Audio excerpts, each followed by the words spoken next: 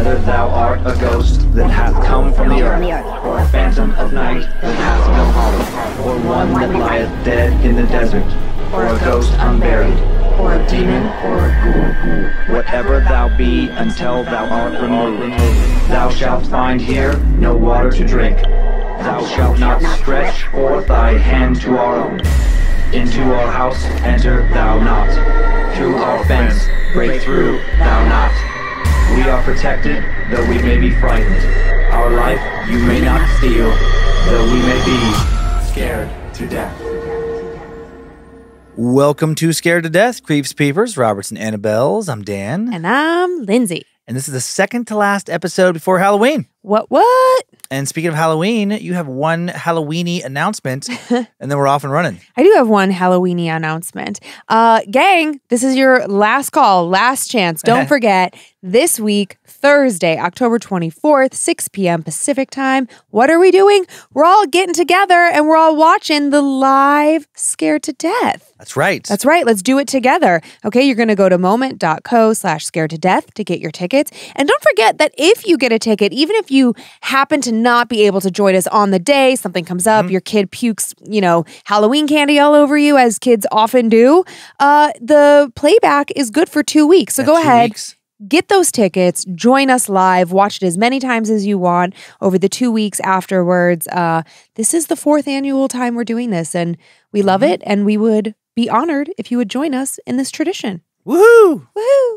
Okay, uh, I have for today's show 10 stories. two stories. Oh, womp, womp, One of them is very long. Okay. Uh, one of them is normal length. Uh, longer overall content than normal. Okay. How about you? I've got a tight two, Okay. and I'm pretty pumped about both of them. Uh, good. My first story takes us out into the woods, which is just always a little bit creepy. hmm And then my second story, I it's about a sleepover and that's about all I can say.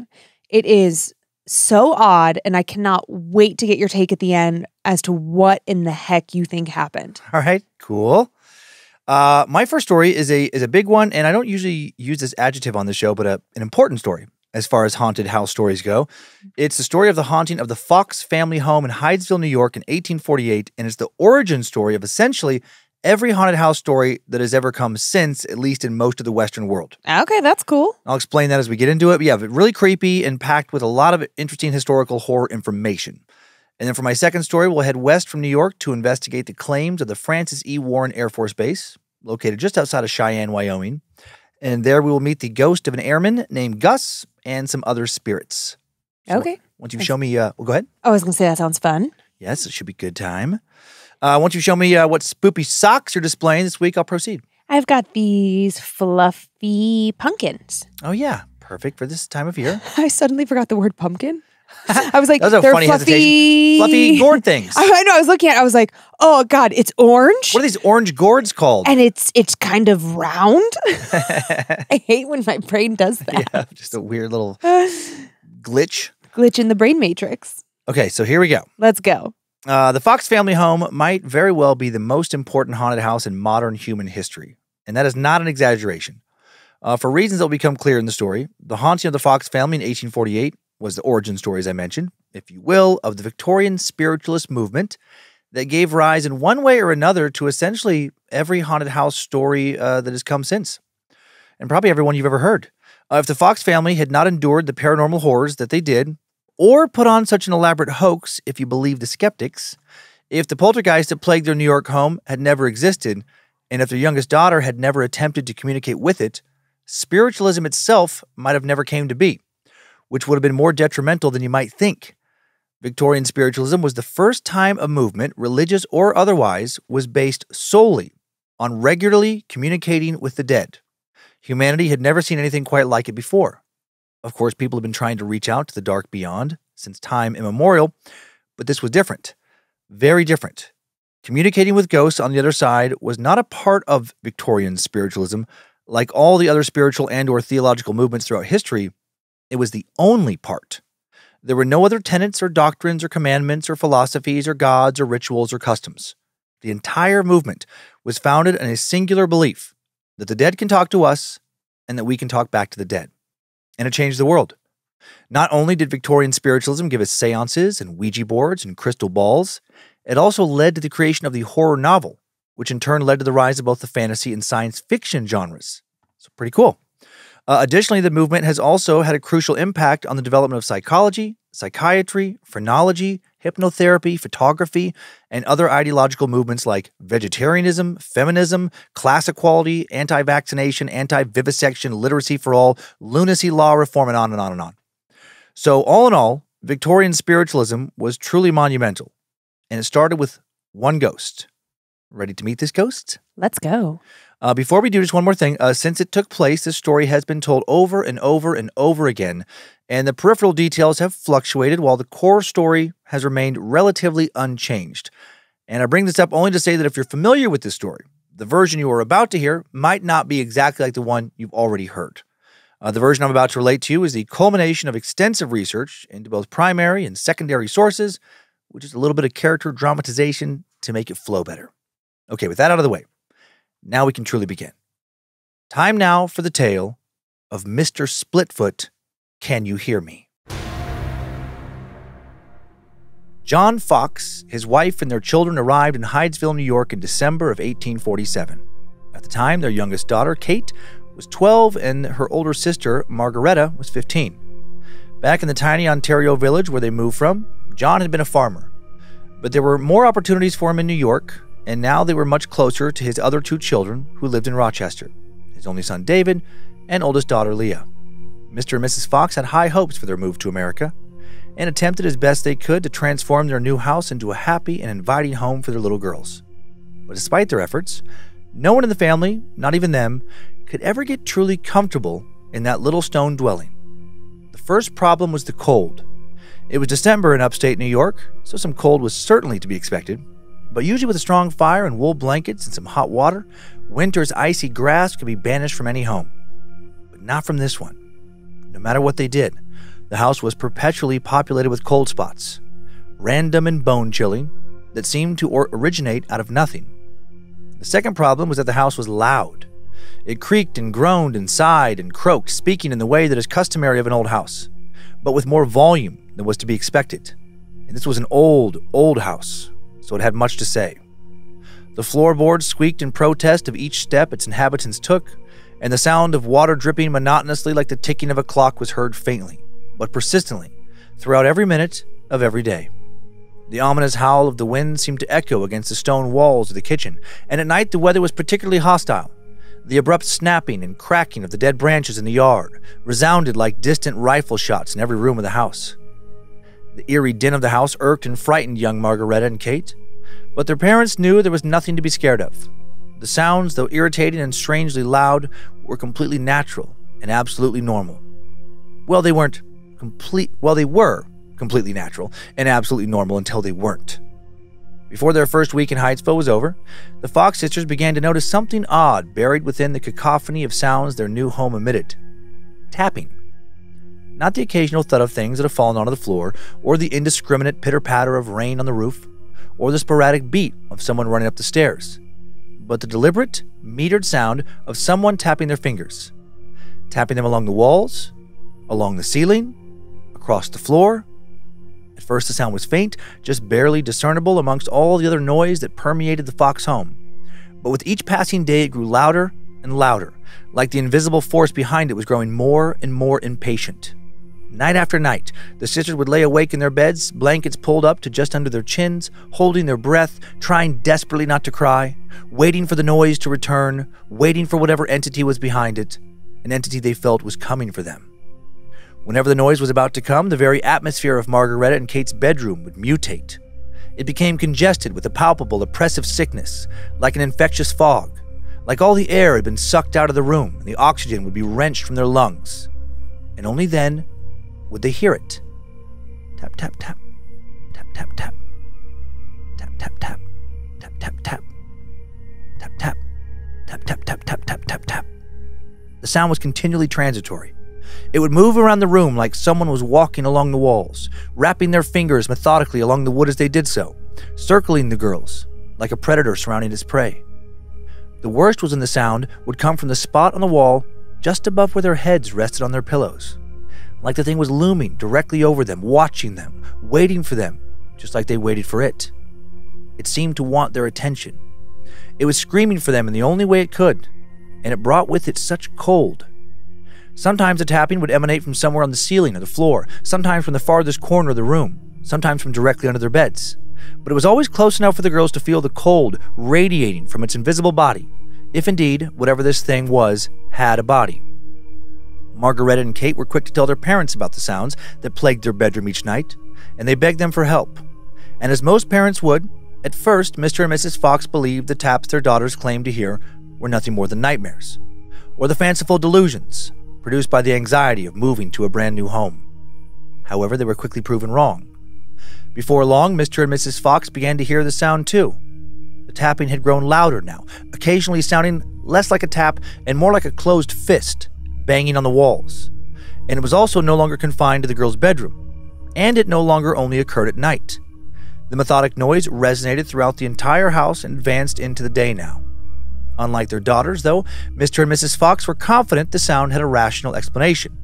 Rats or other critters clamoring in places unseen, an issue with the house's foundation or infrastructure, or some strange auditory illusion caused by the sound of their own footsteps or other movements refracting off of the walls.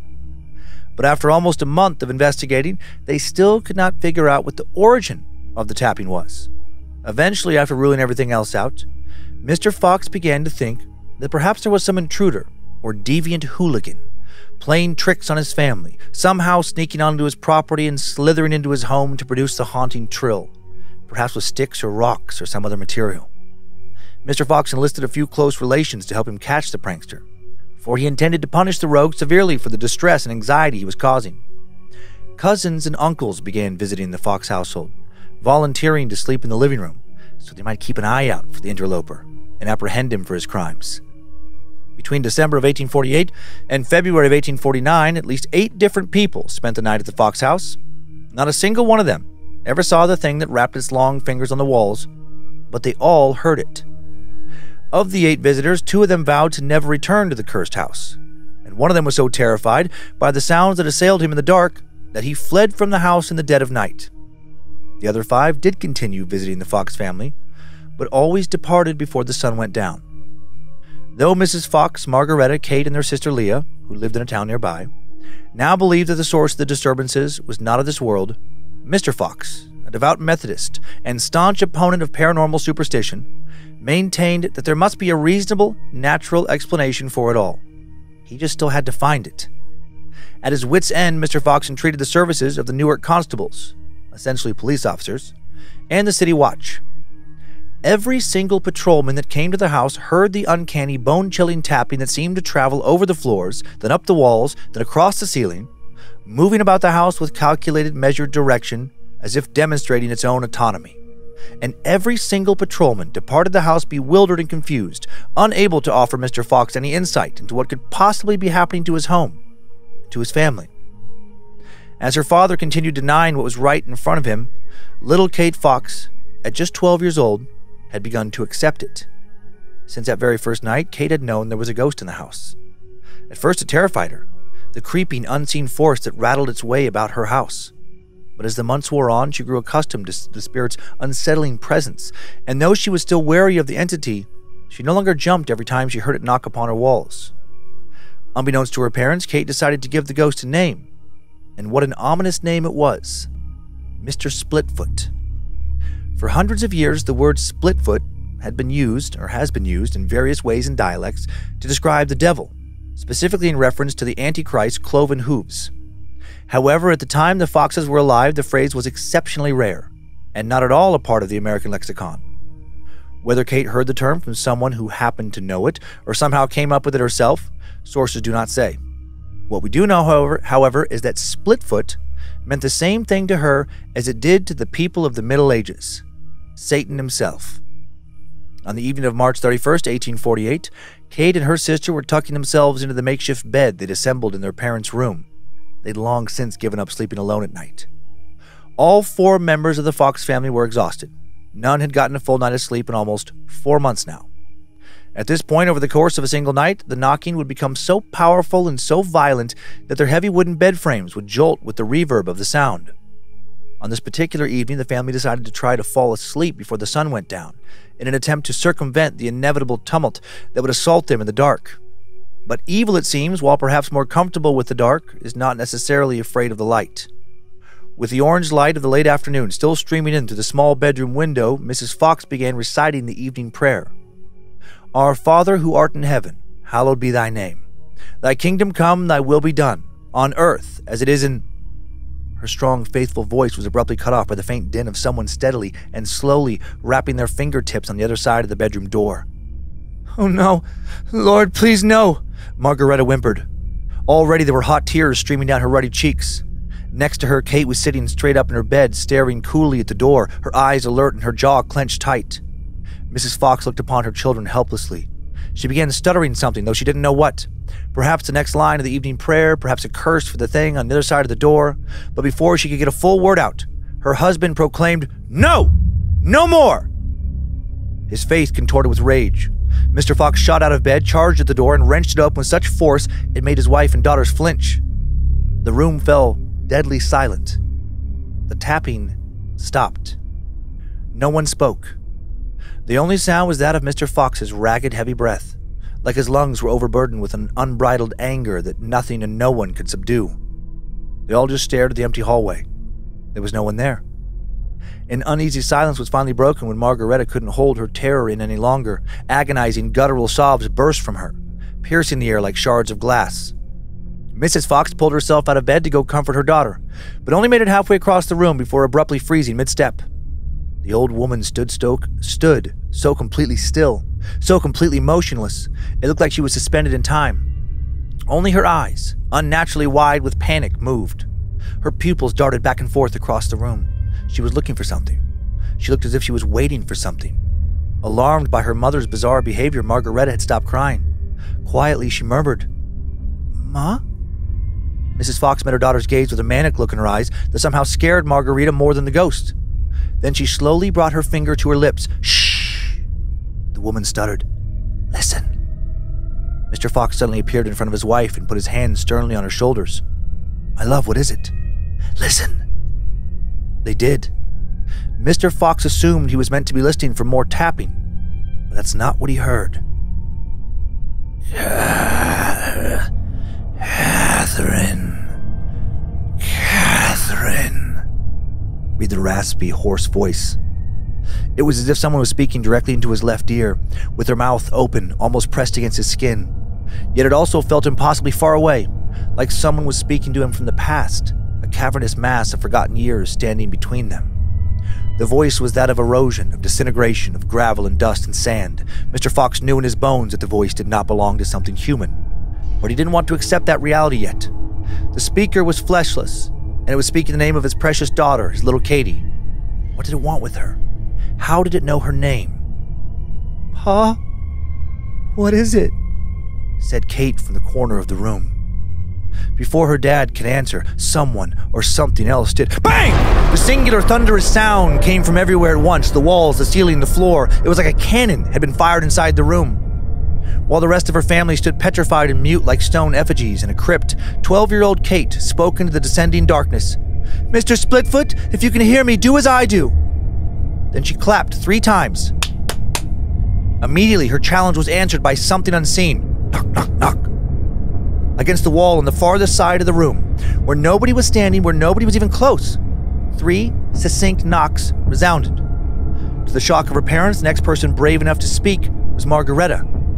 Though she was still frightened, her little sister's boldness incited something in her. Staring straight ahead and breathing heavily, Margaretta slowly lifted her arms from under the blankets and stretched them out before her. She unclenched her white knuckled fists and extended her shaking fingers, her palms to the sky as if to receive a blessing. Then she softly uttered, Mr. Mr. Splitfoot, if you can hear me, do as I do. Count to five. Margaretta struck her hands together five times. Each clap was met with a simultaneous knock on the wall. Whatever the unseen intelligence was that was producing the knocks, that had been producing them for approximately four months now, was coordinating with the little girl's movements so precisely, so exactly, that it was almost violating to witness. It was like the entity could not only see her hands, but it could read her mind. After the fifth strike, Margaretta looked up to see both her parents looming over her bed. Their faces were twisted with emotions she didn't recognize nor understand. Next to her, Kate appeared as expressionless as she had been all evening. It was unsettling to see a 12 year old maintain such a sober composure in the face of such an otherworldly and incomprehensible thing, a thing that she had christened with the nickname of the devil. Margaretta looked down at her open palms for a moment, then wrenched her hands back to her chest as if she'd touched a boiling hot stove. Weakly, she mumbled, I. I know what it is. Tomorrow is the day of the April Fool. This is someone trying to fool us. No one was convinced by the young teenager's claim, not even her. They'd all seen too much, felt too much, heard too much. Ignoring her sister's desperate attempt to explain the unexplainable, Kate said, Ma, now you. Ask Mr. Splitfoot a question. Her voice trembled slightly as she made the request. Though she didn't appear panic stricken as her sister, her friend Mr. Splitfoot was beginning to frighten Kate more and more. Dread like she had never felt before was crawling up her spine, making her veins run cold and her heart ache. Was this her fault? What she had done?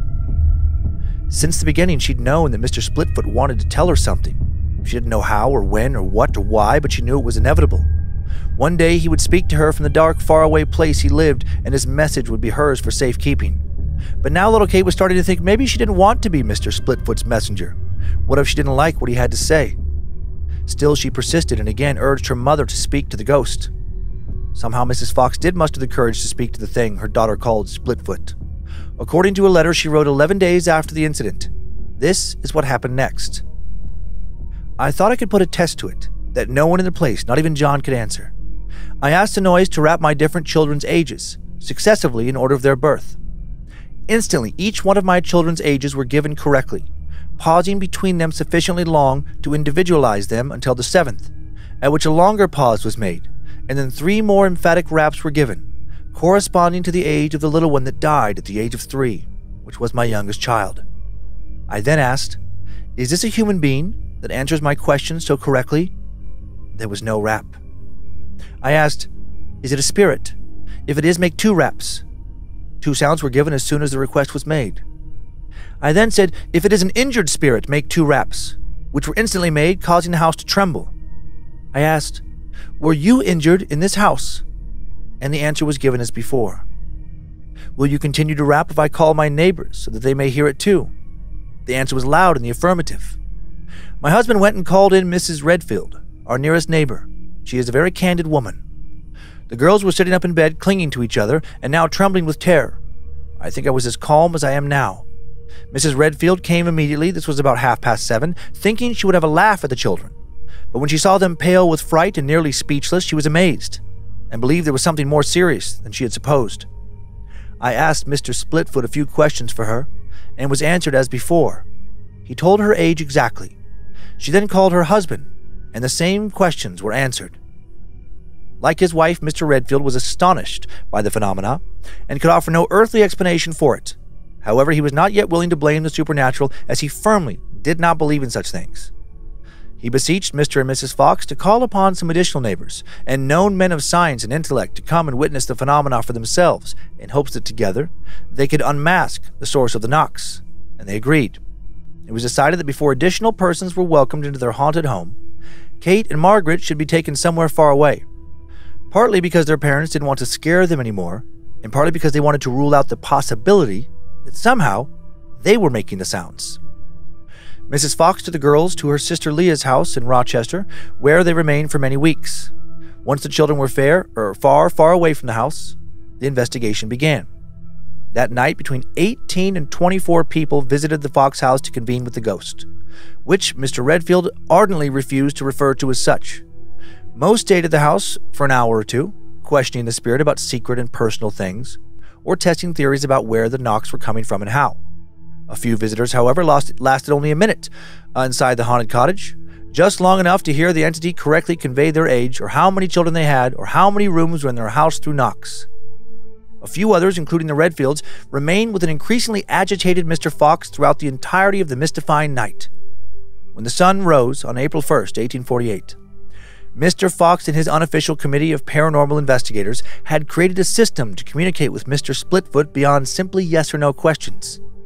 It was a time consuming process, but one that yielded extraordinary results. To begin, Mr. Fox would pose a question to the spirit. Then he would slowly recite the alphabet aloud. As he did, Mrs. Redfield took note of each time a tap was heard and what letter it was heard on. By repeating the alphabet over and over, entire words and a few short phrases were spelled out. Unbeknownst to Mr. Fox and his company, they had just invented the world's first iteration of the Ouija board. An apparatus that has since then granted the demonic, the divine, and the dead alike direct access to the realm of the living, which is exactly what they did for Splitfoot on that night. By the time the sun rose, this is what the group had learned from their ghost, or at least, this is what their ghost told them. He was young when he died, around 30 or 31. He had been murdered in the east bedroom of that very house, but he had never lived there. He was visiting the cottage for work. After welcoming him inside, the owner of the house sliced open his throat. His body, he believed, was buried in the cellar. No one ever found it, and his murderer was never brought to justice. Mr. Fox spent the rest of the day destroying the cellar. He cleared it of all its contents, ripping up the flooring, and dug and dug and dug deep into the ground below. For hours he dug, but never found anything. He was forced to quit when he finally reached an underground pool of water and, and was unable to dig further. In a written statement for the local law enforcement, which had once again been notified of some strange happenings at the Fox cottage in Hydesville, Mr. Fox wrote, I have heard the above statements of my wife, and hereby certify that the same is true in all its particulars. I have heard the same rapping which she has spoken of, in answer to the questions as stated by her. There have been a great many questions besides those asked and answered in the same way. Some have been asked a great many times, and they have always received the same answers. There has never been contradiction whatsoever. I do not know of any way to account for those noises, as being caused by any natural means. We have searched every nook and corner in and about the house at different times as to ascertain, if possible, whether anything or anybody was secreted there that could make the noise, and have not been able to find anything which would or could explain the mystery. It has caused a great deal of trouble and anxiety. Countless persons have visited the house, so that it is impossible for us for us to attend to our daily occupations, and I hope that, whether caused by natural or supernatural means, it will be ascertained soon. The digging in the cellar will be resumed as soon as the water settles, and then it can be ascertained whether there are any indications of a body ever having been buried there, and if there are, I shall have no doubt but that it is of supernatural origin. Signed, John D. Fox. As promised that summer, Mr. Fox continued his search below the cellar, along with the four close friends who had witnessed the phenomena themselves. It had been six months since that fateful evening Kate Fox called out to Splitfoot by name, and since then the inexplicable noise had continued to occur in the house, though much less frequently, and never as violently or loudly as it had before. During that period, the Fox sisters eventually did return to their cottage in Hydesville, but whenever little Katie started spending too much time speaking with Mr. Splitfoot, she was sent back to live with her sister Leah. That was until strange and disturbing things began to happen in Leah's home whenever Kate was around. But that's a story for another time. For now, all you need to know is that on a summer day in 1848, five feet below the cellar, three, uh, excuse me, the men's shovels hit a large wooden plank, and below it, buried deep in the sediment and charcoal and dirt and much and the muck, they discovered a human skull and chunks of tangled human hair. And that was not their only discovery. A few weeks prior, a friend of Mr. Fox's had been going through some county documents and he came across a report of a peddler who went missing in 1842. He was last seen going door to door selling his wares in a small neighborhood in Hydesville, the same neighborhood the Foxes would move into five years later. Despite the evidence, many of those who heard the story still believed that the Foxes had made the whole thing up the mysterious rappings, the ghost they convened with, and the discovery of the skull. The naysayers supposed all of it was contrived, lies, or delusion. It wasn't for another half century, not until 1904, that some of the claims made by the Foxes and the 50 plus documented witnesses were proven true. On November 23, 1904, the Boston Journal, a public newspaper with no affiliations to the spiritualist movement, published the following The skeleton of the man supposed to have caused the rapping first heard by the Fox sisters in 1848 has been found inside the walls of the house once occupied by the sisters, and clears them from the only shadow of doubt concerning their sincerity in the discovery of spirit communication. The Fox sisters declared they learned to communicate with the spirit of a man and that he told them he had been murdered and buried in the cellar. Repeated excavations had failed to locate the body, and thus given proof positive of their story.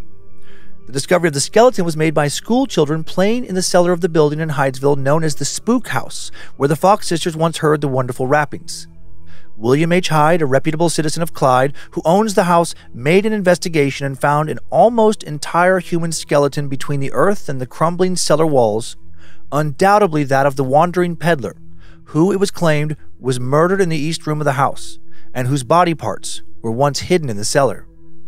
The finding of the bones corroborates a sworn statement by Margaret Fox and her husband John Fox on April 11, 1848. This discovery settles the question forever and proves conclusively that there was a crime committed in the house and that this crime was indicated by psychic means. Today, you can actually visit what remains of the haunted house of Margaretta and Kate Fox in what is now Hydesville Memorial Park in Newark.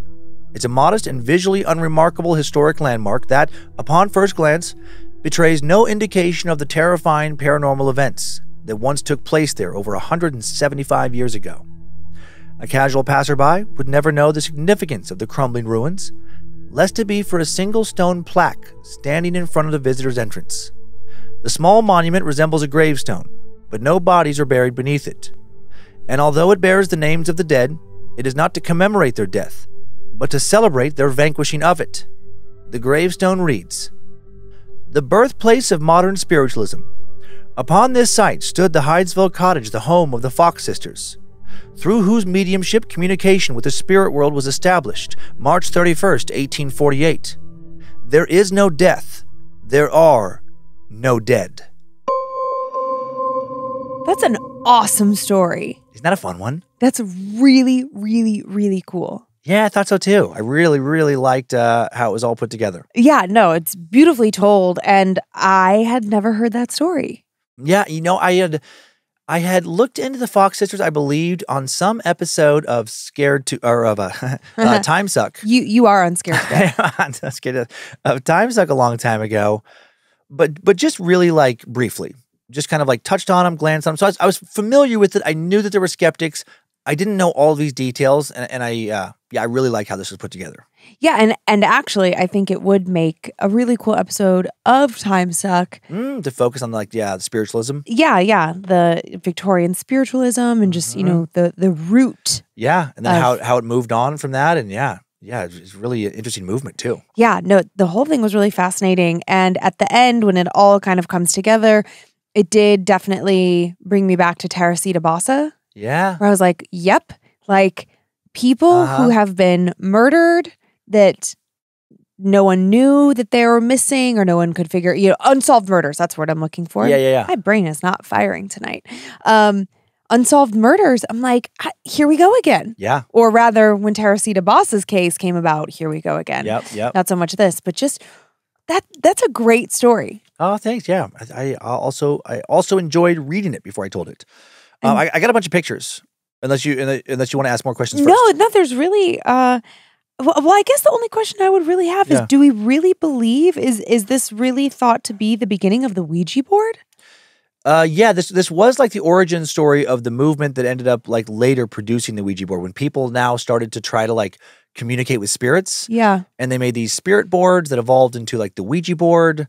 Um, but yeah, I don't think I don't think that there was anything like that before this story. This seems to be the first story of someone like like leading to like seances and really leading to like interacting with the dead. I mean, there was previous you know hauntings where people think they see a spirit, Mm-hmm. but there was never like from what we can tell a concerted effort like this Yeah. over a long period of time to communicate with a spirit that did in fact seem to communicate back. And again, skeptics will say it was a hoax, but if this happened the way it happened, then this does seem to be the first documented uh, instance, at least in modern times, of over an extended period, someone you know figuring out a way to communicate with a spirit. Yeah. When you were explaining, you know, like the A, B, you know, and Uh-huh. then like they would that Mr. Splitfoot would tap Right To indicate a rapping- letter. Uh-huh, uh, I thought like, man, that must have taken hours. uh-huh. Oh yeah, Such a long, long process. yeah. Totally. And then in my brain for just a second, I got really hung up on like double letters. I was like, what if what if he's trying to spell the word hammer and he needs two M's? Do you have to start Yeah. all the way over at A again? And I always think with that kind of stuff, it's like who says that they're a good speller? Oh my gosh. Right. Right? Just because they're dead doesn't mean that they can spell for shit. My gosh, that's such a funny concept to consider. Uh, or that they have, a, or that they have a good memory. Because I, I I noticed that one spot where he's like, oh, you know, thirty or thirty-one, and for a second I'm like, wait a minute, and like, well, people actually didn't always know with certainty their birth year back then. True. And if they're like kind of forgetful, like I don't know, I, I think I was thirty, uh, And- thirty-one maybe when I died. If they do age math the way I do, like, oh yeah, yeah, yeah, yeah. ag- aggressively rounding up, Uh huh. which Dan is convinced I'm the only person who does that. Uh huh. Not true. But, uh, you know, he might Yeah, have been who 30, he might have been 32. Who knows? depends on what kind of birth math he's doing. Let's see those photos. Okay, so this first one, this is a picture of Margaretta, Catherine slash Kate, and their older sister Leah from 1852. So there is the sisters, the Fox sisters, Okay, they're foxy. Foxy Fox sisters. You get it. Um, this picture is just an example of Victorian spiritualists, uh, a séance conducted by medium John Beatty. Okay. So just, uh, I do, you know what I find fascinating? I, I I really was enjoying looking at these old pictures. Mm-hmm.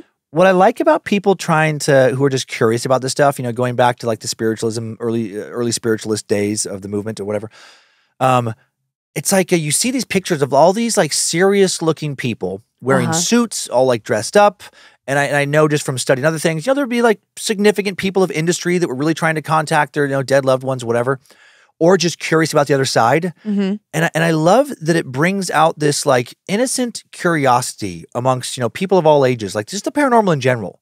Where if like, you know, if we were trying to hold a seance right now, I would immediately start to feel like I felt when I was 10. Oh, yeah, like a giddy excitement. Yeah, just a giddy excitement and just this exploration of the unknown. When you're a child, so much of the known world is unknown. Uh huh. and there's that sense of wonder and awe. Uh huh. And I, I see that in these pictures, these people just feeling that. And it, it is really cool. Uh huh. Um, this next one is a uh, another example of a seance conducted by a, a fraudulent medium, What is happening? 1928. Oh, they have um, that lady there blindfolded and you know walking her through all these things, and they're telling her that like oh some entity is near her, and they just have like people in costumes essentially, Okay, I was like, pretending to be the that's ghosts. Creepy. and and there were, you know, to to be fair. Like Harry Houdini was actually, and actually maybe that's where I talked about the Fox sisters in a Harry Houdini episode of times. Like he was big on uh, showing these people to be frauds, to be hucksters, and taking advantage of people with in grief, trying to contact a dead son or a dead father, Sure. taking their money. And he did expose a lot of them for being total frauds. But like we say here often, but maybe not lately, just takes one to be right. Um, this is an old book, uh, The Spiritualist Handbook How to Speak with the Dead. This is a 1918 edition. That's cool. Uh, this next one, an example of a, an illuminated seance conducted by alleged clairvoyant Erik Jan uh, Hanussen. Just uh, he was a, a pretty big uh, psychic, supposed psychic in Germany around the like uh, years leading up to World War II and during World War II. You could take this photo and show it to me and tell me so many different captions about what it is, and I would I know. believe you. You could tell me it's a seance. You could tell me it's a bunch of people uh like at a wine tasting. Yeah, You could tell me that these are a bunch of bankers. Like this is such a ridiculous yeah photo. it's an odd just photo. uh, to see these photos, you can visit our Instagram or Facebook at Scared to Death Podcast. Uh, and if you're listening on Patreon, they're posted there in the uh, episode description. Yeah, But it's like a circular ring light with the medium man standing in the middle of it, and then Uh-huh. a group of people around the edge, and they all have their fingertips on what looks like a giant ring light. But it, again, the formality of it, people Uh-huh. are in tuxedos and everyone looks well put together. I think we have this misconception now, or this uh, stereotype that we assign to mediums and whatnot, where they, you know, wear long flowy clothes and they look a little unkempt and they wear a lot of jewelry. This is the like could not be more opposite to that. yeah. The the previous kind of uh, trope or whatever of how those people present themselves was to be very, very well dressed. I think we should go back to that. uh, this next picture, the Fox family home, 1916. Oh, okay. I don't know what I was expecting, but That's this little house. very basic structure. Okay. Mhm. Um, and then this is that uh, uh, tombstone like plaque I talked about at this uh, park. The Fox Sisters plaque. You know, there is no death. There are there are uh, no dead. Yeah. It's very cool presentation there. Yeah. And then this one is a uh, people using a Ouija board, an illustration of a, a man and a woman using a Ouija board on the Saturday Evening Post of 1920 on the cover. They And- just look like they're having a good old time. Yeah. And then uh, this one is the world's first actual Ouija board from 1890. Wow. Okay, well, let me tell you guys, they haven't changed. Yeah, just a just a little more simple presentation of it. Um, and then I, a little fun fact about the Ouija board for, before we move on. Uh, the Ouija board named itself. Medium Helen Nosworthy created the board based on some early spiritualist iterations. And the first thing she asked of it, or the spirit on the other side, was uh, when she finished, was what it should be called. And the board spelled out O U I J A. So that's where Ouija comes from. Okay, there you have it. Yeah. All right, then. Well, that was fun. That was fun. Okay, Yeah. good. Uh, are you ready to leave New York for Wyoming now? Oh, I mean, I do love New York, but take take it away. A bit of historical setup before we dive into paranormal claims here. The Francis E. Warren Air Force Base, uh, located three miles west of Cheyenne, Wyoming, is one of three strategic missile bases in the U.S. But its first incarnation came long before the advent of the missile. It was first established back in 1867 by the Army and was originally named Fort David Allen Russell after a Civil War brigadier general. And why was it built at all? Five years earlier, President Abraham Lincoln and Congress had made plans for the uh, Transcontinental Railroad. These plans included a military installation on the eastern slope of the Rocky Mountains in the Wyoming Territory to protect Union Pacific Railroad, Railroad workers from conflicts with local tribes. On July 4th, 1867, the Union Pacific Railroad established its mountain region headquarters at Crow Creek Crossing, which is now Cheyenne, Wyoming. A few weeks later, the U.S. Cavalry uh, moved from their temporary headquarters in Cheyenne to a point three miles west to establish the fort. What started off as a frontier infantry and cavalry post eventually turned into a modern strategic missile facility. In 1930, the name of the base was changed to Francis E. Warren, named after a Wyoming senator and governor. The base then came under the control of the Air Force shortly after the Air Force itself was formed as a separate branch of the military in 1947, and its usage would then be determined by the Cold War. Today, Warren Air Force Base is part of the Air Force Global Strike Command and has an estimated 150 nuclear missiles ready for use at any time. It's also the oldest continuously active military installation within the Air Force. And because of its long history, it's probably not a surprise that Warren Air Force Base is said to be extremely haunted. Perhaps one of the most haunted places in all of Wyoming. Time now for the tale of the ghosts of Warren Air Force Base. According to the base's website, there have been reports of the paranormal going back to when the base first opened. Many have claimed to see the ghosts of cavalrymen in full dress around the base since the base's first few years of existence. Jill Pope wrote a book about these spirits and many others titled Haunted Warren Air Force Base. As recently as 2014, Jill was the director of the Cheyenne Street Railway Trolleys, part of her position as director of operations with Visit Cheyenne. The trolley tour started in 1988, and Warren Air Force Base was included in the daily tour until 9 11. The original trolley guides were not seeking out ghost stories, but when they spoke to base residents during daily tours and asked about the history of their homes, they quickly built up a collection of paranormal tales.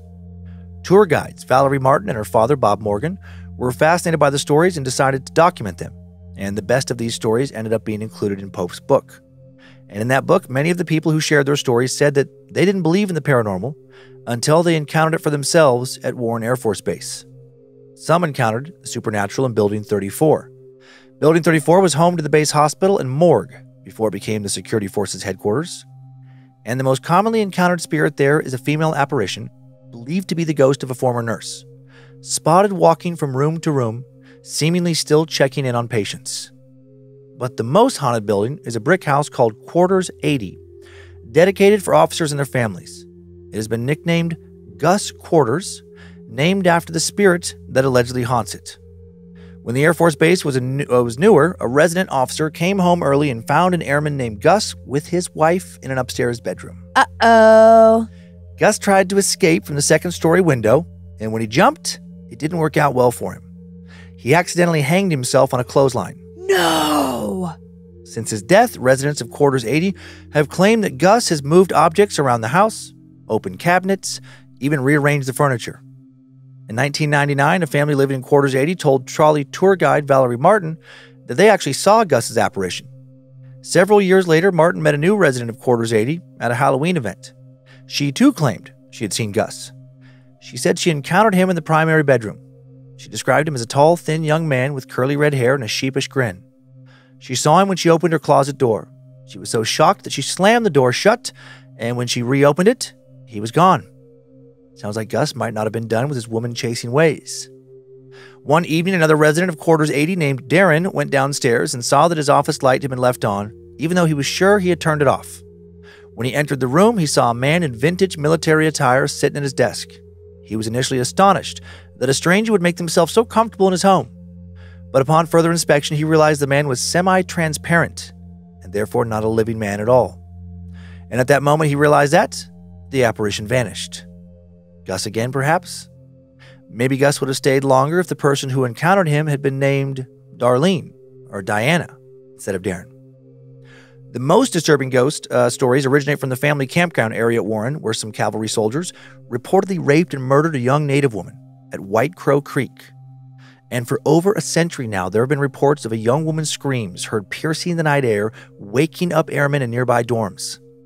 The screams sound so real, and the woman sounds like she is in such pain and distress that there have been several instances where the military police have been called to respond to the screams.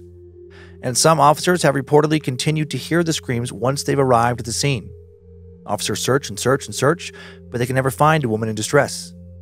Sometimes these screams occur intermittently for hours at a time. Some have said that when they think they are close to finding her, the direction of the screams shifts farther and farther away. It seems as if no one has ever been able to actually spot her. Author Jill Pope spoke to a military officer named Randy who knew of an MP who responded to a report of a woman screaming on base. Randy said the MP was a serious, no nonsense person who was not inclined to believe in ghosts. But after responding to that call, he seemed shaken and he refused to describe exactly what had happened. He would only say he knew it was something paranormal. Finally, a few years ago, radio host Glenn Woods published a fictional ghost story on the website for KGAB, a local news and radio station in Cheyenne. And after reading the story, listeners began to send in their own uh, stories, but allegedly true ghost stories, much like our listeners do. The following story comes from a listener named Justin Huntley. Hey, Glenn. Really enjoyed your ghost story this morning.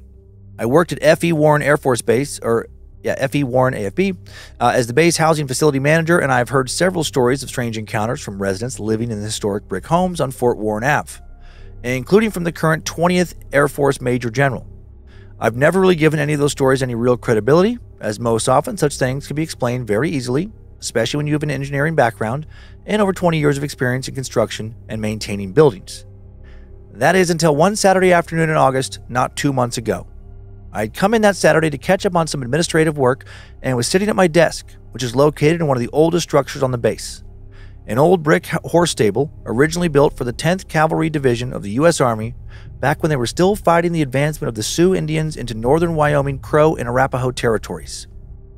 I was working on my computer when I heard heavy bootsteps walking from the front of the building toward the back on the second floor in what is now plywood floored attic storage space. I immediately assumed it was my on call maintenance tech and thought he was up there looking for a part. As the footsteps progressed towards the back of the building, I got up and walked out to the shop area at the back of the building where the only set of stairs leading up to the attic are located. I stood in the middle of the shop, listening to the footsteps progress to the top of the stairs, expecting to see my on call tech start walking down them. The footsteps then stopped at the top of the stairs, but my tech never came down. I called out his name, received no answer. I walked to the stairwell and ascended into the attic space and called his name again. No answer. I then walked all the way to the front of the attic, which is an open area full of spare doors and cabinets and plumbing fixtures and furnaces, searching for my tech, who I was sure was screwing with me at this point. Nothing. No answer. No one there. No additional sounds. Then the lights turned off. This was odd because all the lights in the attic are on a motion sensor, with a timer that turns them off after 10 minutes of inactivity. I then remembered that the lights had been on when I ascended the stairs. Well, I thought that's not too unusual. Electronic motion sensors go bad. They malfunction all the time, especially when you buy cheap ones from Home Depot or Lowe's. I walked back to the stairwell, went back down to the shop, assuming I just missed my tech and thinking I'd find him out in the parking lot loading his truck or something. I went outside, found his truck in the lot, parked where it always is, locked up, and no technician in sight. So I called him. He answered on the second ring, and I asked him where he was. I'm home working in my yard. Did I miss a call from the emergency services or something? Uh, no, but I thought you were here. I heard you in the attic a minute ago. He asked me to describe what I'd heard. After hearing my explanation, he said to me, Look, boss, this has never happened to me, but you should talk to Bob, Janine, Mike, Daryl, and David. Every one of them has experienced the exact same thing you're describing. I said, You've got to be shitting me. And he replied, No, I'm not, boss. Over the last year, I've heard them all talk about experiencing that same thing. Since Bob has been here the longest, I asked him first thing on Monday. Before I even got the details out, he said, Let me guess. You heard boots walking in the attic, went to see who it was, found nobody there, and the lights kept going on and off. That was a pretty good summary, so I let it stand. He then hollered out to the team area for Daryl. Daryl comes in and Bob said, Tell Justin what you heard the weekend you were on call and you came in to get the gas valve out of my office. Daryl then described exactly what had happened to me two days before, right down to the precise details. I'm a practical and logical man, Glenn. I'm an engineer by trade, and I believe in empirical data over all else. There's not one single explanation I can come up with using the laws of physics, thermodynamics, or 20 plus years of learning building quirks that can explain what I and four other people have experienced here.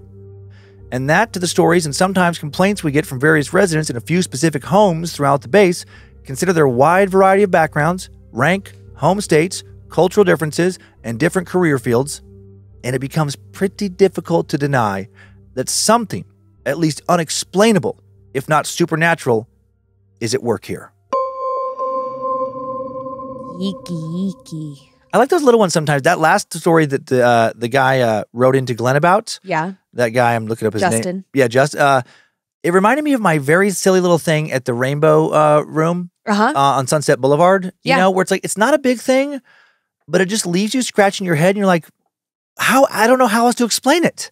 In a lot of ways, I like the smaller things Uh-huh. because the larger, grandiose, over the top, it's Mhm. like, eh, are you just telling me a tall tale? I know it- you- it's, it's easier to be more skeptical. yeah, you know, was the fish two feet long or was it 20 feet long? You Yeah, know, yeah, yeah. it's like every time you tell the tale, it gets a little bit bigger. Uh, so yeah, I happen to really like those.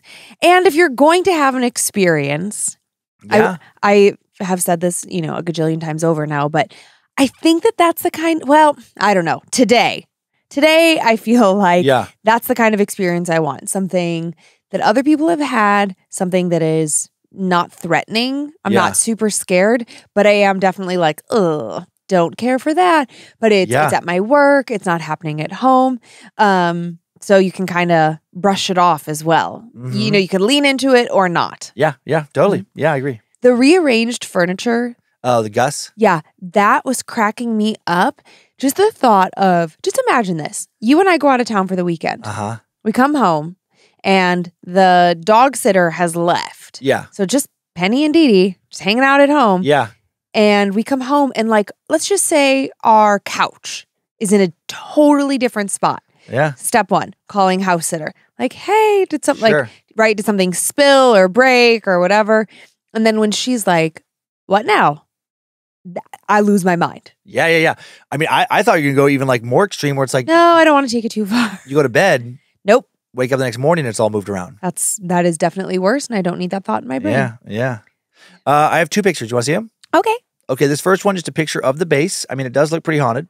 Yeah, no, I mean that's pretty spooky. I'm surprised there's not more horror stories coming out of it. Yeah, definitely. And this next one is a picture of Quarters 80, aka Gus Quarters. And I mean, it does look spooky. Uh, I can't believe they let people still live there. Yeah, it doesn't I mean definitely it doesn't look safe. I couldn't find any good pictures. So Y'all, he showed me some BS. What was that? What was the was first that? one, the first one is a picture. I, I just googled old haunted vampire castle, and it was a poster you can buy on Amazon. Yeah, It looked like Disney. Yeah, totally. And the second one is just a dilapidated farmhouse that came up when I searched for horror movie haunted house. Oh yeah. I mean, this second house is so dilapidated that It does look scary. how exactly is that front porch standing still? Like the Uh-huh. awning Oh yeah, is 'cause the pillars are supported by nothing. Yep. And it definitely has that vibe of like at Oh, any man. second something is going to pop out of one of those windows. Yeah, that is like the perfect haunted house. Yeah, quintessential, Yeah. as they say. Okay. Who are they when they say they? Who, who are they? you know what they say. hmm Who? who floats around. There's different groups of they. Oh, okay, cool. And um, now, before we move on to your stories, I know you wanted to mention the Giving Tree. Yes. Okay, guys, we're doing a sneaky mid-show announcement Yeah. because I get it. We when we have a few spare moments, we do listen to some other shows, and I get it. Announcements are rough, but Yeah. when something's really important, Yeah. we want to make sure that you don't skip past it and feel left out. So here we are, ending end of October. We're Mhm. nearing November. The emails are already coming in about like, hey, the Giving Tree, my family could use help, or hey, how can we support the Giving Tree this year? So Yeah. I wanted to let you know that, you know, it is coming and we really appreciate you guys hanging tight through all the announcements this month. We hope that they've all been fun. Haunting Hooks, Meet Up at Scarywood, the live show. It's been really fun to dive into Spoopy Month. Um, and now we're excited to focus on the Giving Tree. And in a future episode, we will share with you when and where you can apply for assistance for your family, but that is not this announcement. This announcement is how our community can help us support other people in our community. Uh, and every year, you know, we want to help as many families as we possibly can. And the only way to do that is with your additional support. So this year, we're starting the Amazon gift card collection a little bit earlier to give people a little bit more time and so that we know what we're working with in order to know how many families we can help. Um, our goal this year is to match what we had last year, which is right around $40,000 to spread uh, across our community and to those in need. So if you're able to give a little extra holiday support this season, please consider doing so by purchasing a digital Amazon gift card. And when you, you know, go to your Amazon account and you're buying it and it asks where you're sending it, the a the email address that you want to plug in there is givingtree2024. So givingtree2024 at badmagicproductions.com and we're accepting gift cards now through November 21st. You can find all this information in today's episode description which I recently heard people don't know where to find that. So when you're looking on Apple, Spotify, wherever, you know, iHeart, Yeah. all the different places, you know, it'll say like the show name and then the episode name and then you see like a bunch of words that explains what the episode is about. Yep. Generally there's like a show more kind of Uh-huh. button. Click that and all the information will be there. And if all of that was just too much, you can just email us and we'll tell you where to go. Yep. Exactly. Okay, great. Thanks for bearing through yet again another announcement. For a very good cause. Yeah, yeah. We hope that you guys know that our announcements are nine times out of 10 us telling you cool things that we are doing that benefit our community. Yep. Great. And now it's time to get spoopy. Let's do it. Do you have a Layla over there? I do. I, I, forgot a- to ask you before we started. Oh, I do. A pile over here. Whew, okay, great. I was nervous. well, let's dive right into A Voice in the Woods. All right. Hello, Dan and Lynze. Hello.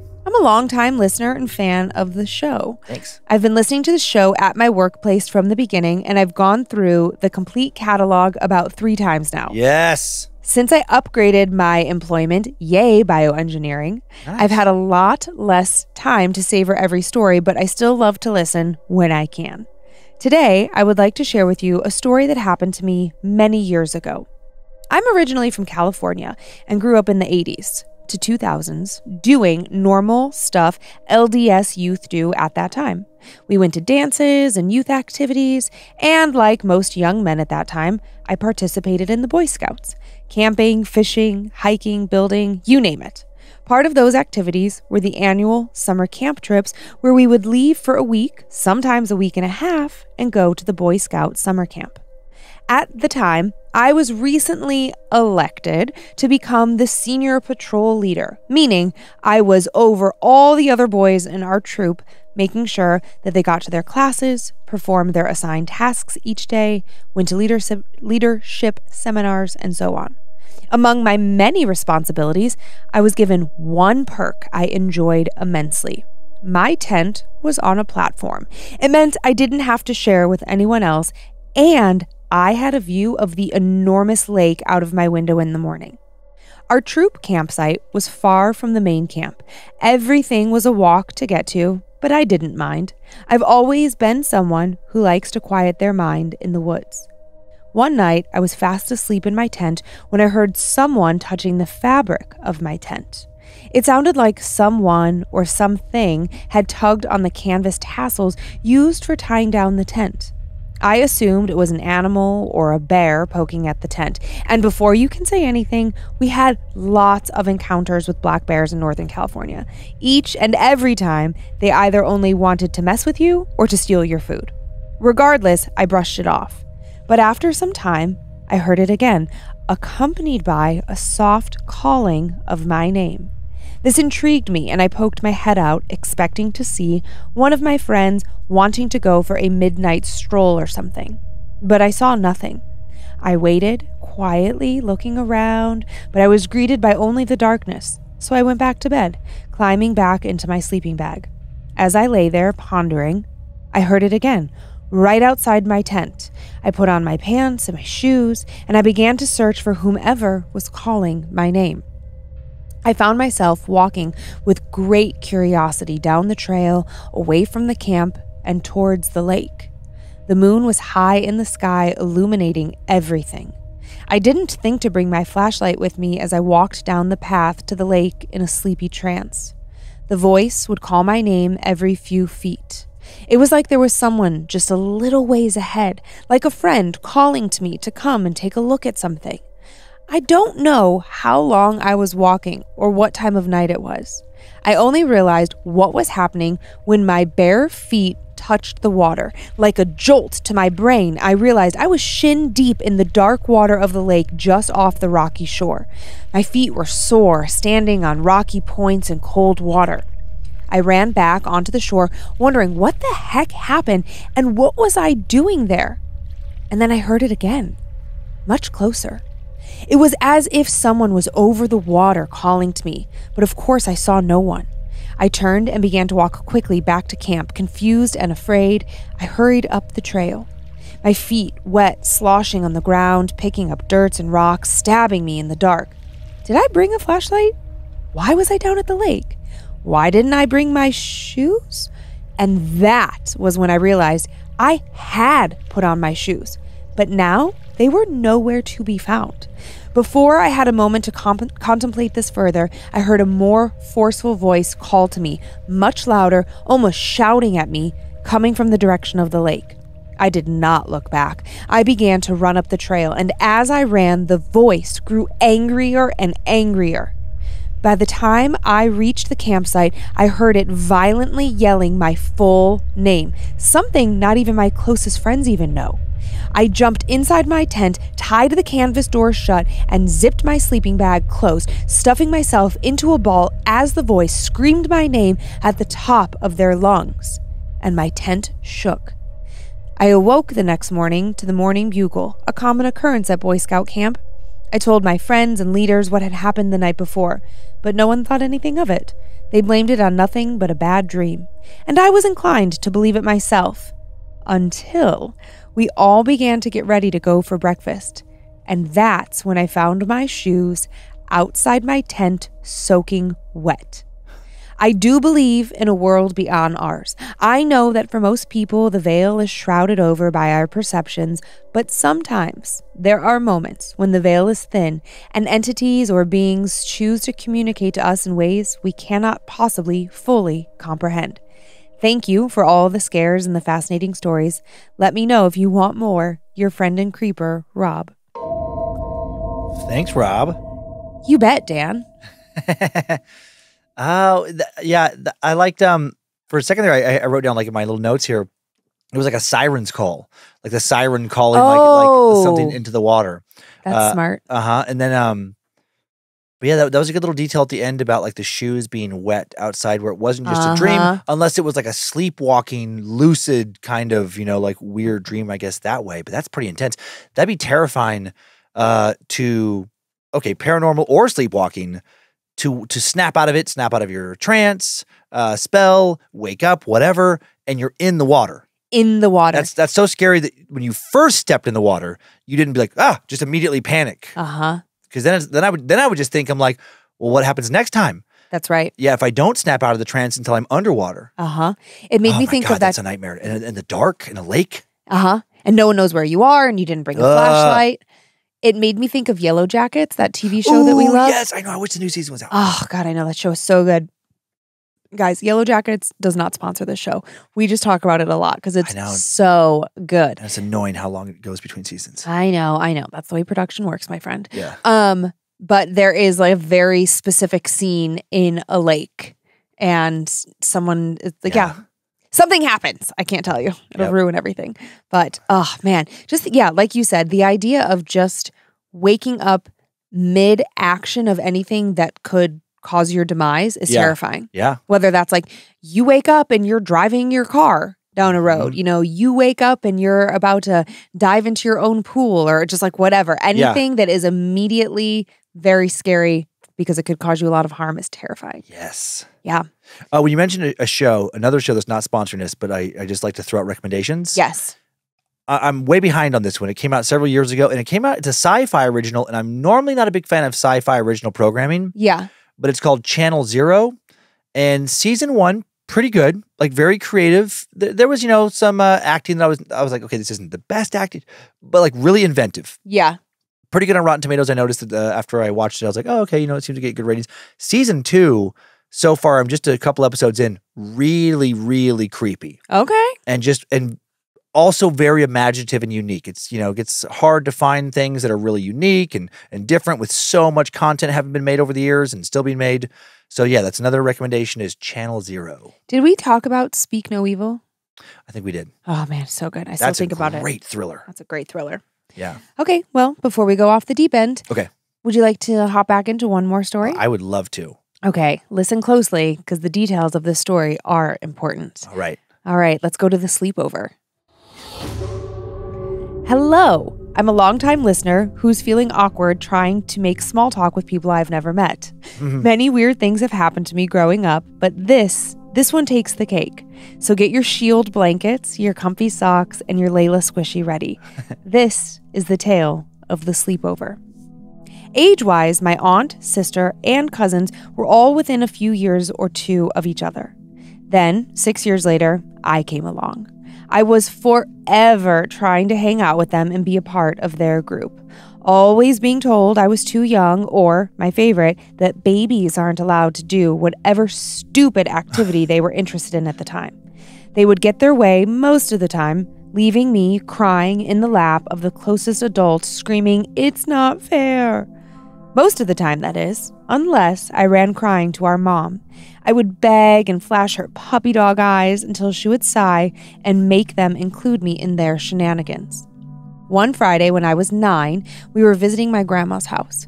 Mary, my aunt, and my sister Pat were excitedly chattering about having a sleepover. Mary's friend Lisa was on her way, and my sister had just been given permission to stay over. They were planning what scary movies to watch, what kind of pizza to fix, when I declared loudly that I wanted to stay too. Sorry, Squirt, my sister said, using the only name she would call me with mock sorrow in her voice. This is just for us. No kids allowed. Running to my mom, I cried and told her I wanted to stay more than anything. Batting my eyelashes, I told her this could even be my birthday present. No, was my mom's forceful reply, and that's final. But it wasn't. Smiling, I waved as I watched mom drive away. We had a great night watching movies, eating popcorn, and dancing like crazy.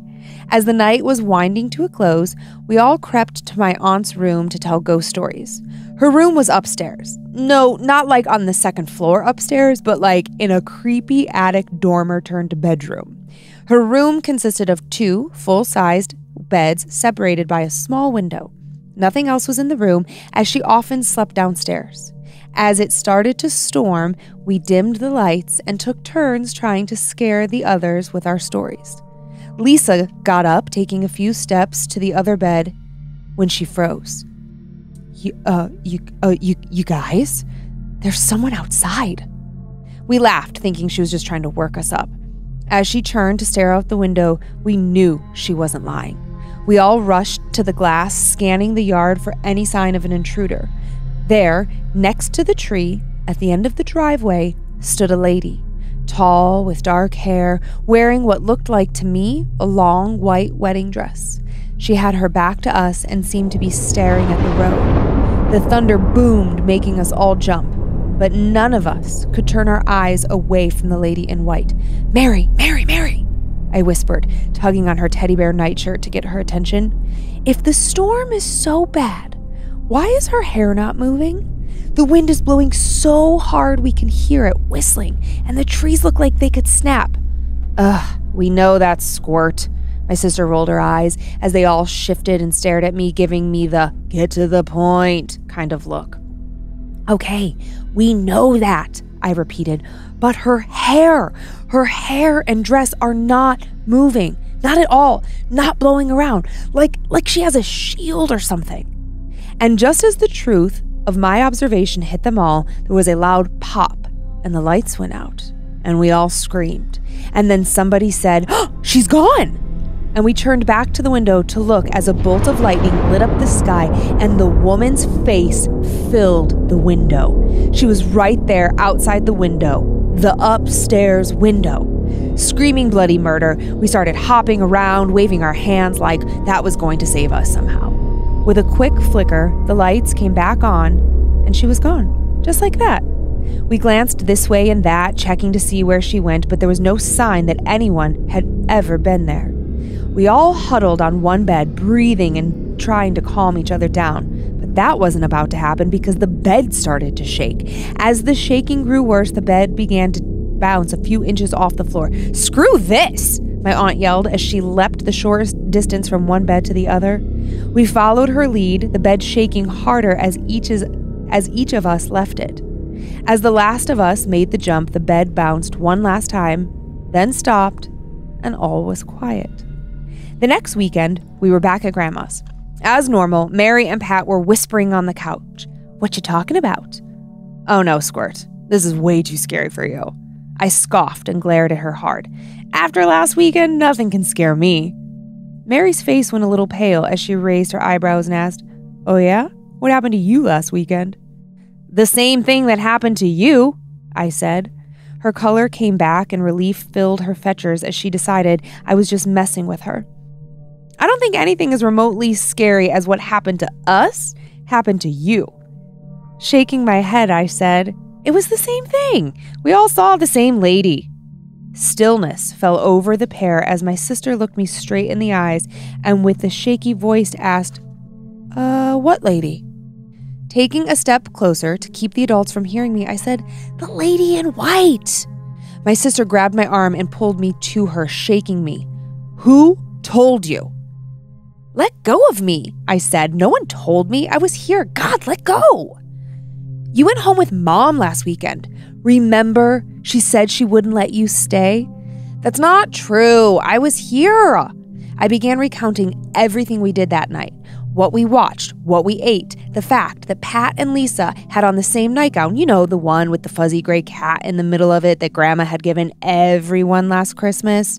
I told them how Lisa made four scrunchies from New Kid on the Block fabric and gave me one because I cried when Pat ate all of the strawberry ice cream knowing it was my favorite.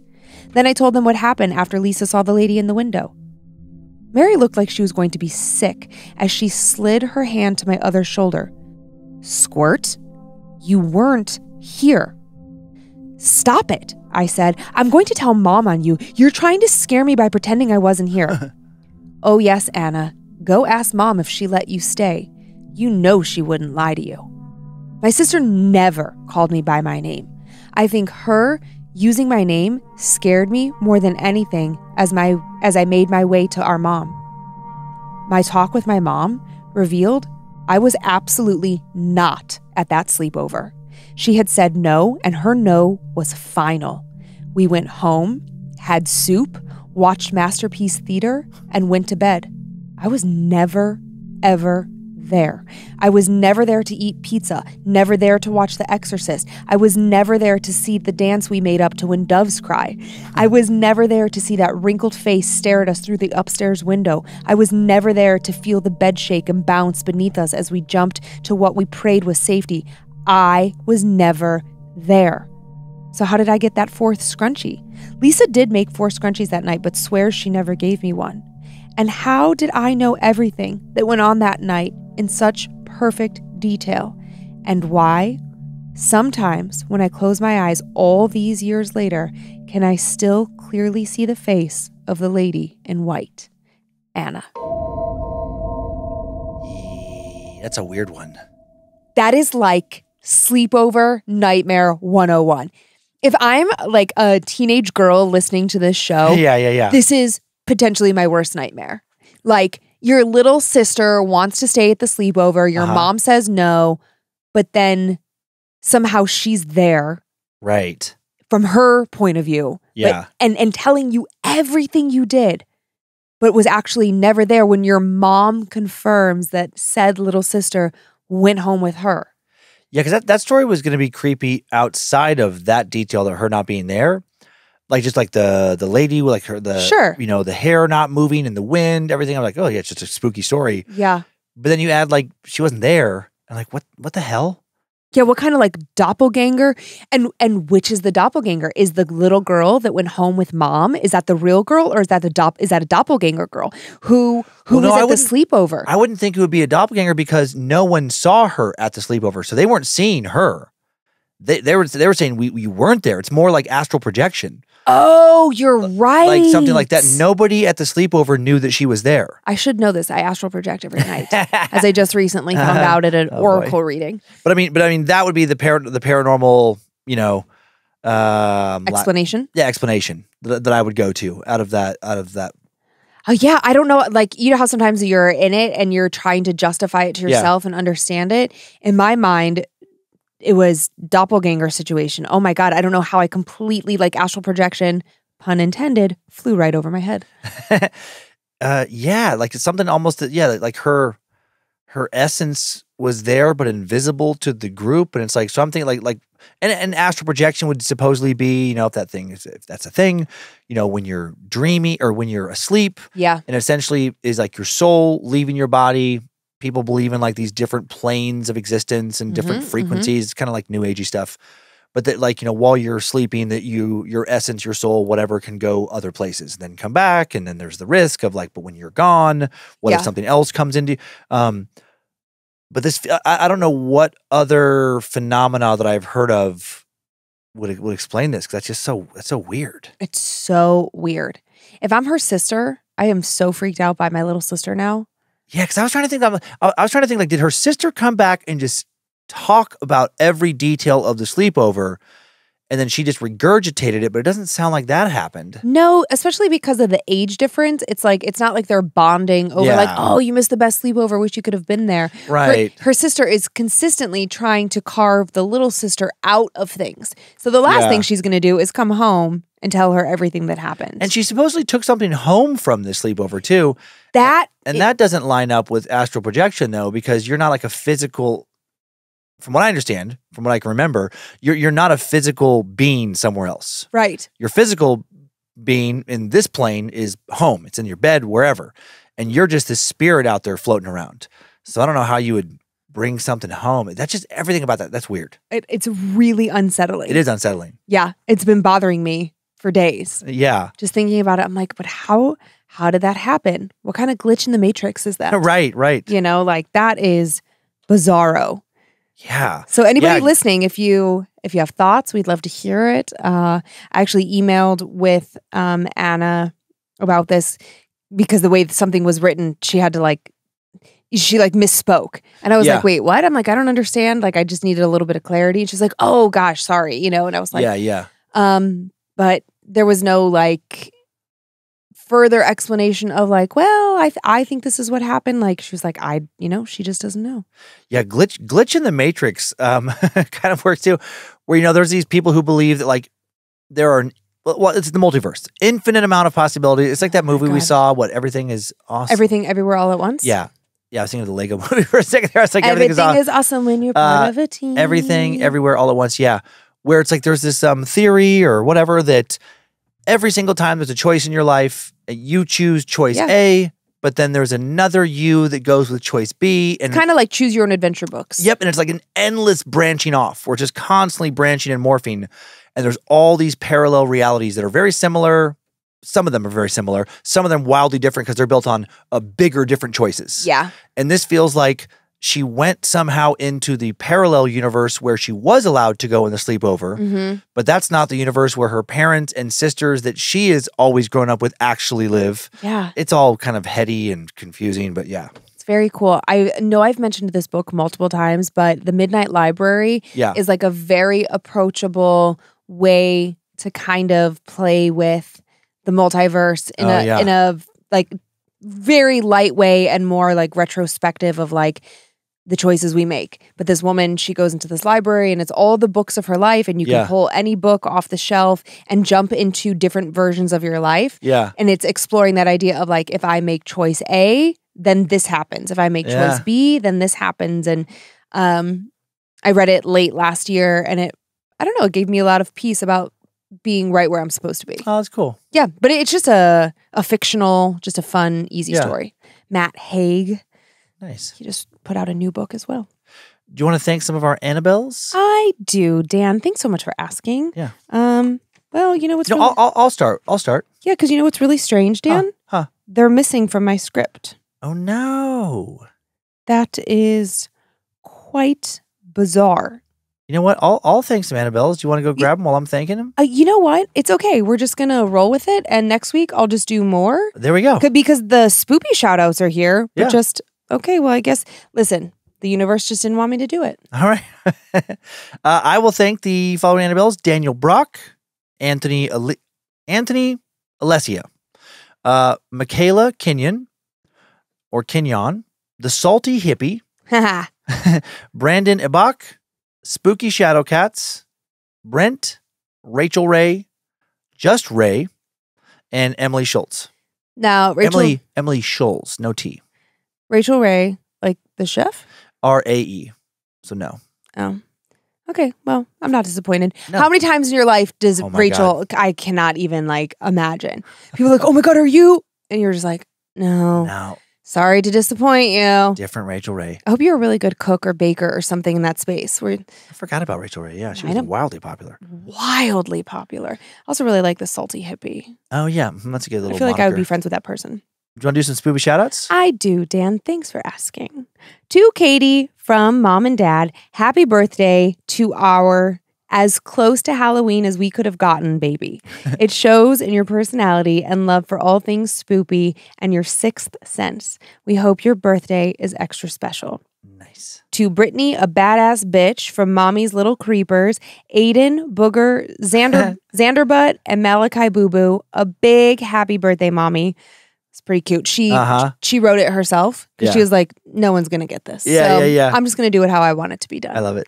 To Allison from Chasten, you are the strongest person I know. We will get through this hard time together Oh, to Tyler, my favorite spud from B. Thank you for a wonderful few days at our mini camp reunion. You are the best friend anyone could ask for. Sorry about the giant mosquitoes.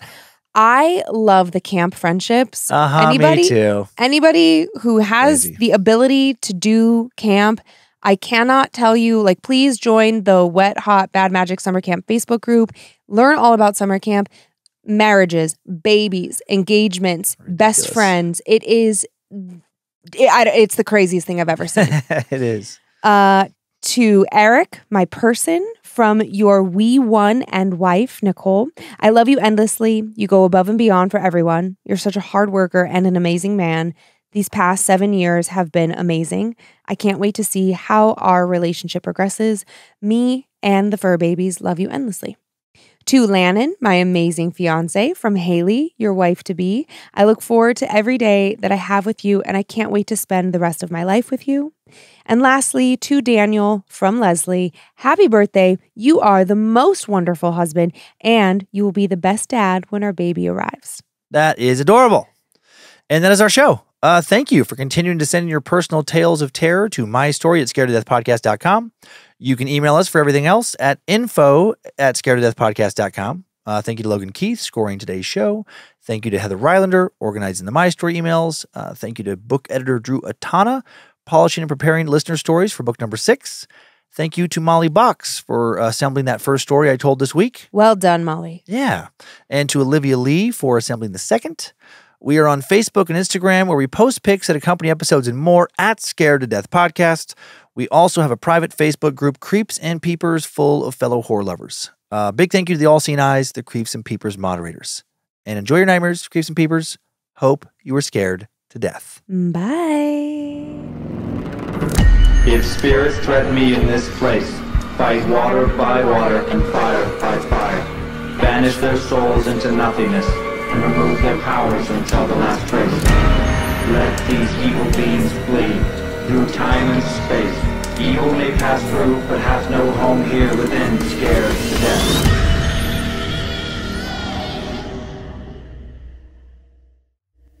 Bad Magic Productions. Oh God, it's orange What are these orange gourds called? and it's it's kind of round.